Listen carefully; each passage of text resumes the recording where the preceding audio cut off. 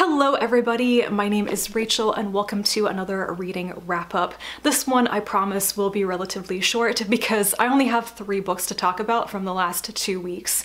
I have been reading a lot, um, but I haven't been finishing books very quickly. I just have split my attention between so many things right now and you know what? That's okay. Sometimes that's just life and I'm enjoying it. So with that, let's get into the three books I have to talk about today. First up is Antarctica by Kim Stanley Robinson. This is a pretty hefty tome and I listened to it on audiobook and I really enjoyed it as an audiobook. I have some criticisms of this, but in general, I quite enjoyed it. Um, I'm not going to say that this felt like a fluff novel from Robinson, but um, I, I, feel like I enjoyed it on a pretty surface level with its sense of adventure and like the, the sense of wonder of the place of Antarctica.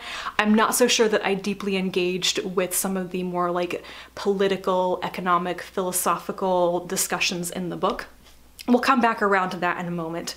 So Antarctica follows three main characters as they are, as you might expect, in Antarctica.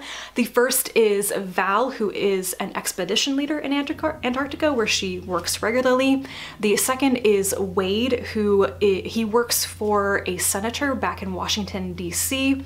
And then X, who is kind of like a general assistant for the organization that provides like the infrastructure and basic grunt work in Antarctica. So he's not like a scientist or a researcher based there, but he works for the company that supports those people. Um, and their paths intersect. Their relationships with each other are kind of a core part of the people in the book, like the people side of the story.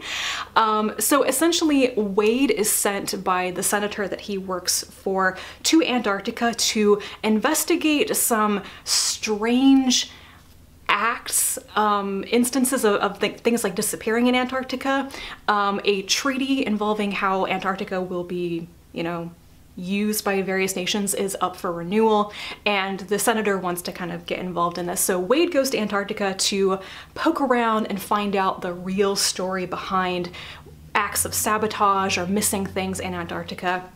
While he is there, he runs into Val, who, as I said, is an expedition leader, and um, she regularly takes like tourists around to recreate expeditions of like Shackleton or Scott or the Swedish guy whose name I just forgot. Ah, anyway, it'll come to me eventually.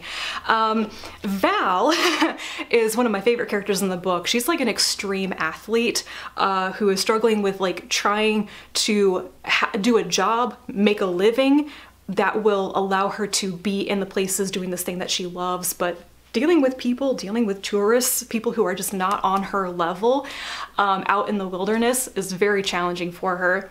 Um, and then X, as I said, he he's just sort of a general grunt worker there, but he's um, he's got some grand ideas about like dealing with capitalist structures and he's into philosophy and stuff. He was dating Val prior. They had kind of a weird breakup. He's still pining for her. She feels bad about how she treated him. But then also when Wade meets Val, he's like, whoa, I did not know until now that really tall women are my jam. And she's also kind of interested in him. So The first half of this book is, um, as I described it before, uh, people pining for each other in Antarctica, that's a little bit of an exaggeration, but the first like literally half of this book 250 some odd pages is character introductions, wandering around Antarctica, this exploration of the history of, of humans being in Antarctica and just what it takes to survive there, to, to live there, you know, while you're stationed there. And people thinking about each other. and I think it's because in an extreme environment like this, which is, you know, it's so harsh, it's so isolating, but it's also there's that it's invigorating there's that sense of adventure and connecting with yourself and with the others who are there like it's a bonding experience so i think that's where the relationships between people became so important um, you go through things you meet people in such unusual circumstances and it kind of you know you click a little bit. Um, so for the first half of this book, I thought, what is the point of this? And then it kicks into high gear in the second half with kind of the bottom falling out of the situation in Antarctica because a lot of the infrastructure there is sabotaged and these acts of eco-terrorism shut everything down, people get stranded, and it's kind of a race to survive, like to get back to civilization, figure out what happened, and deal with the consequences of this. The book ends with a lot of discussions of uh, policy going forwards in Antarctica. And that is the thing that kind of bugged me about this. Um, I really enjoyed the ride here. I thought the topic of this book was really interesting, but I think it suffers from like two flaws which are pretty typical of Robinson's novels now that I've read quite a few of them. The first is that and this is not a really harsh criticism from me by any means, but um, I do not read Robinson's novels for complex, deep characterization. Um, a lot of his characters are stock characters. Um, and I really felt that in this book. For whatever reason, um, I was like, hey, Cynthia, or what's her name? She's exactly like Mary, and who was it? Diane, who also worked in the NSF from Ministry of, of the Future and the Science and the Capital trilogy. Wade felt very similar to previous characters from other books. It just went on and on. I got to the point where I felt like I could pretty much guess everybody's personality and role right as they were introduced. And then I could predict what they were going to care about, what they were going to talk about, their opinions on things. And so the whole book is just steamrolling towards this, the, the conversations at the end where people are really trying to like have this forum and nail down the future of Antarctica. It's very political, it's about environmentalism and all these different, you know, parties with different interests in this place. And it also felt really familiar and all the characters kind of sounded the same. They kind of spoke the same way, same vocabulary, just same intonations. Maybe I noticed this more because I was listening to the audiobook, but it started to really bug me. In the final like chapters of the book, I was just like sitting back going, people don't really talk like this and I'm having a hard time remembering who's speaking because everybody sounds the same. It was a bit odd. But once again, it might be because I was listening to it on audio. So that was, yeah, the real flaw in this book for me was just how familiar and predictable the like human aspect of it was. Everything else, great. And yeah, so I enjoyed this. Glad I finally read it, and it was better than I expected it to be.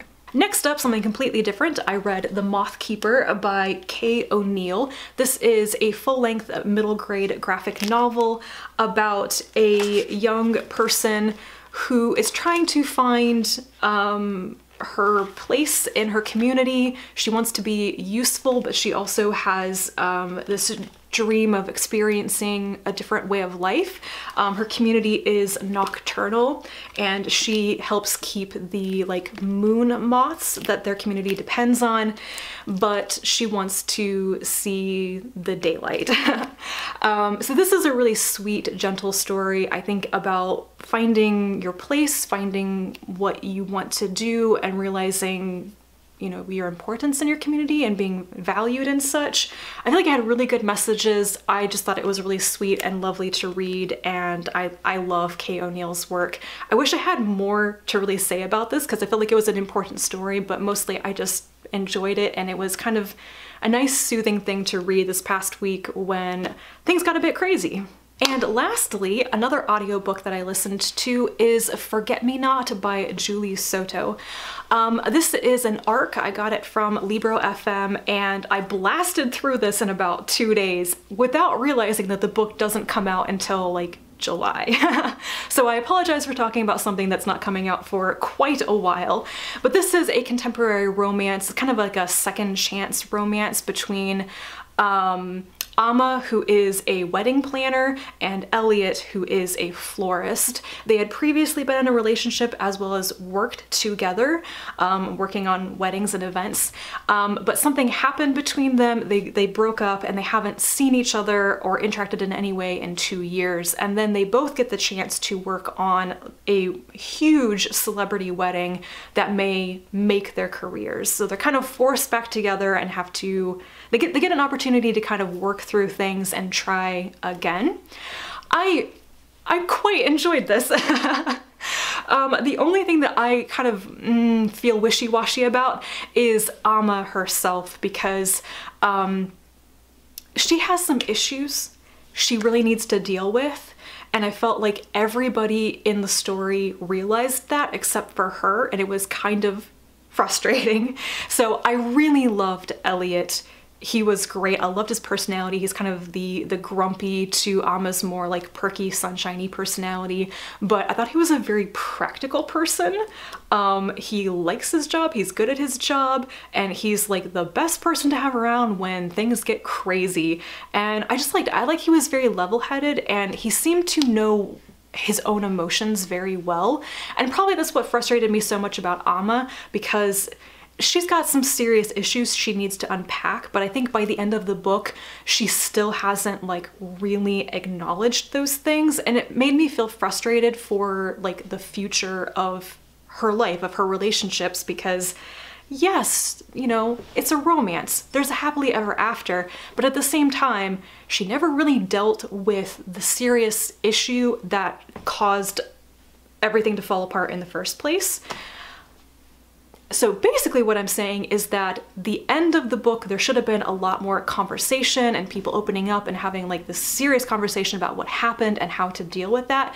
And instead it was just like, oh no, we're happy, we love each other. End of story. Anyway, I still really like this. I found it very amusing and it is the first time that I've listened to a romance novel and really enjoyed the experience. This is actually pretty like graphic and steamy in parts and I thought that would make me feel very awkward while listening to it, but I thought the narration was really well done. And it probably also helped it was dual POV with different narrators, so you have a male and a female narrator, and it just it worked really well for me. So I really enjoyed this. If there was ever another book about Elliot, I would eat that up. I'm a little bit more take it or leave it with Ama though. So when this book comes out in July, if you like reading contemporary romance with like grumpy sunshine personalities, I do recommend it. I thought it was a really good time. And that is it for what I have read recently. Now for a quick crafting update. I swear I'm not gonna talk your ear off for 15 minutes like I did last week, but I'm very excited about things, so I wanted to show them to you quickly. Um, the first is these two floofy skeins. This is my big sweater spin of red fiber. I'm um, spinning this woolen style and I ran out of bobbin space so I had to start plying it to free up my bobbin. So I've got two squishy skeins of yarn. It's not finished or anything but I am extremely excited. I have to decide how I'm gonna finish this yarn because it is so like soft and delicate. Ugh, I'm, ki I'm kind of nervous. the second thing is really bizarre looking. Um, tell me if you can guess what this is. Hint, the nose shape is important.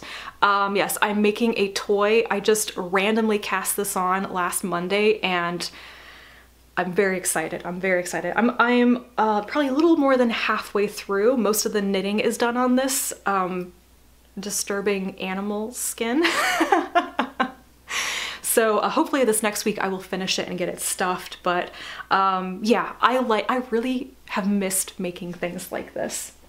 And then lastly, the colorwork cardigan that I had just started last weekend, um, I have been having so much fun with this. This is a week's worth of knitting. Now it's knit at a pretty large gauge, um, but yeah, actually it's upside down. This is the right way up. This is the neck hole. I've seamed the shoulders up and there are steeks for both armholes and for um, the front of the cardigan. So yeah. now I'm on to pretty much just straight knitting down the lower half of the body and that will be you know, my challenge for this next week to get the, pro probably to get the body of this done. And then I get to worry about steeking and sleeves and button bands and stuff. So um, this has been so interesting. Wow, it looks so much better on camera when you can really see the design.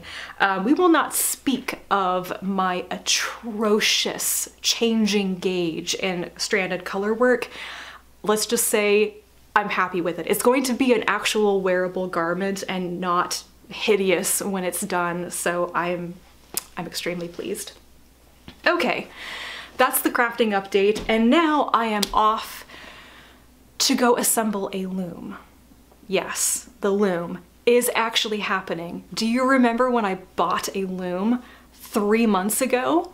Well, I finally have it after a couple of snags and I finally have the correct assembly manual after a couple of snags. So today I'm gonna work on um, preparing all the wooden pieces and then we get the pleasure of sticking it all together. It's a pretty big loom. It's a 36 inch four shaft floor loom. If that means anything to you, it's, it's relatively big. And um, yeah, so the rest of my weekend is gonna be working on that as long as my dad is okay with that because um, he's doing a lot of the work too. I'm useless when it comes to carpentry stuff, so. anyway, that is it for me. I hope you're having a wonderful weekend and I will talk to you again soon. And until then, bye.